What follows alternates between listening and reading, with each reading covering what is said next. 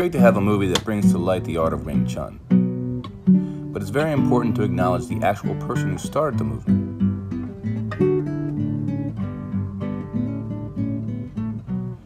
Yip Man was much more than simply Bruce Lee's teacher. He opened the door to what has become an internationally known system of devastatingly effective hand to hand combat. When it comes to close quarter self defense, experts the world over look to those trained under the Yip Man line of Wing Chun for effectiveness.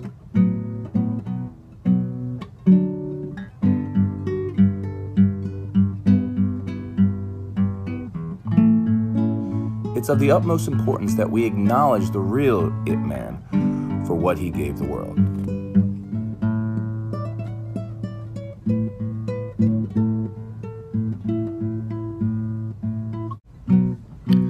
Yip Man was 12 when he started learning Wing Chun.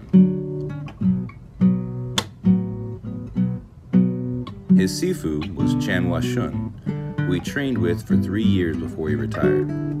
Yip then learned from his older Kung Fu brother until Yip turned 16 and went off to school in Hong Kong. While there, Yip trained under Leung Bik, the son of Leung Jan, his teacher's teacher. At 24, Yip returned to Foshan and became a police officer.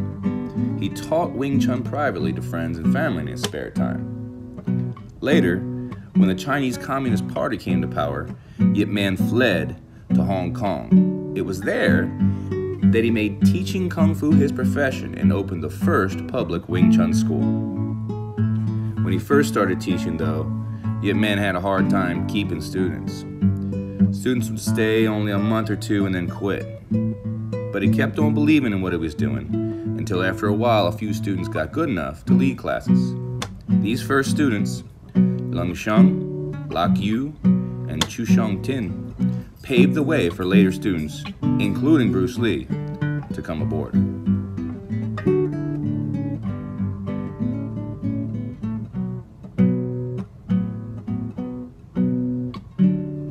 This video is a tribute to Yip Man.